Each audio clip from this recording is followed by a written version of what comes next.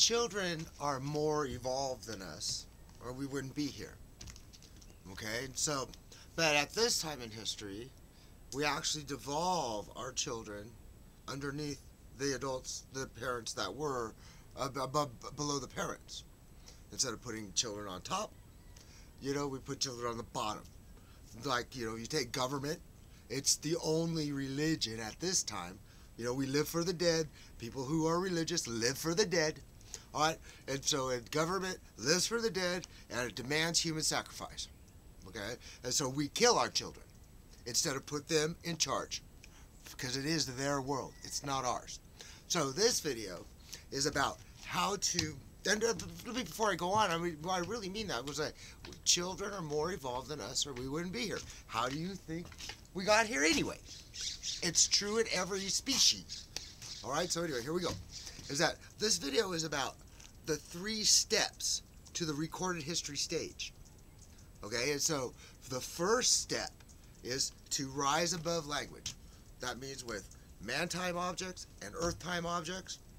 Alright, time is not the big deal. Time is a dividing line between what needs us to exist and what does not. Words are maps to objects from those two classes. We can separate them with technology. And so you must learn to do it in your head. And it's kind of like a reinstall language. You have to reinstall language in your mind. You'll take it on like that. Computers have a reset when we reinstall the language in them because it's binary.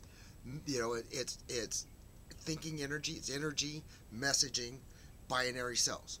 Okay. Well, with the computer, we just push the button and it'll reset itself.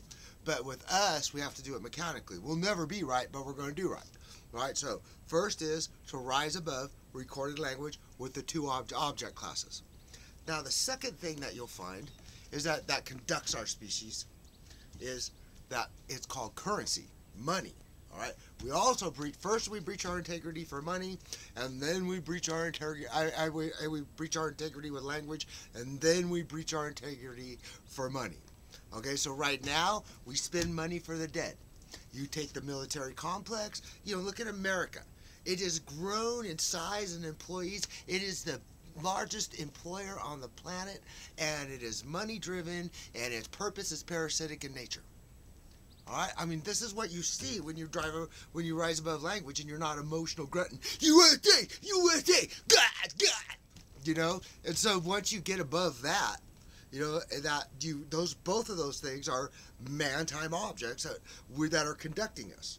And so then next thing you find is all of them language and money is a great it's a great tool. It's just misused. And as you rise above language, you see how to use money. And we spend it on the future and on the children. We set them up. We give them freedom instead of word slavery. We abolish word slavery into man time. This is big picture stuff, friends. All right. And then the last thing when taking the recorded history stage is that, you know, the three steps first there's language, then there's currency, and then you're up on the recorded history stage. And this you'll see that this is such a great time to be alive. There is so much opportunity once that you use language based on what I call, you know, Galileo time object science. Earth time objects, man time. I mean, one more time. Sorry about that. Man time objects, Earth time object. All right. You know what to conduct and you know what to be. All right. Thanks to Galileo Galilei. And you'll be up on the recorded history stage and you'll wave there and you go, Hi, future, I'm doing this for you. Hi, kids, I'm doing this for you. And everything comes out, you know, we leave the world better for me and you. We leave more freedom than we received. The first generation in recorded history to do so. So we're talking big picture. And just all it takes is honesty and Galileo time object science. So I love you, friends. I know it's, it's confusing at first, but once you commit to reinstalling language into your mind, boom, it's over. You know, you start certain, you know, no one needs to tell you how to think because we all, there's only one set of objects above all languages. I mean, we're going to separate the top 10 languages on the internet by time with technology so that we can identify who is not jumping on, you know, who who is living a lie. You know that the people that are dangerous to the children. You know, call them what you want. I mean, I make people emotionally grunt all the time because they're Christian terrorists.